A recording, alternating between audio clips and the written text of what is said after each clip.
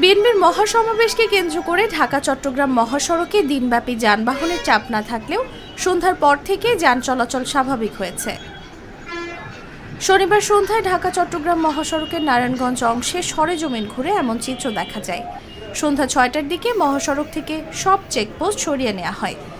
এদিকে যান চলাচল স্বাভাবিক হওয়ায় স্বাচ্ছন্দ্যে নিজেদের গন্তব্যস্থলে পৌঁছাতে পারছেন কর্মজীবী লোকজন। গত সাত নভেম্বর থেকেই ঢাকা, চট্টগ্রাম মহাসড়কের বিভিন্ন পয়েন্টে চেকপোস্ট বসিয়ে যানবাহনে যাত্রীদের তল্লাশি করে আসছিল পুলিশ। এদিকে শুক্রবার পর্যন্ত দূরপাল্লার বাস চললেও আজ বন্ধ রাখা হয়, যার ফলে ভোগান্তিতে পড়তে হয়েছে সাধারণ মানুষকে।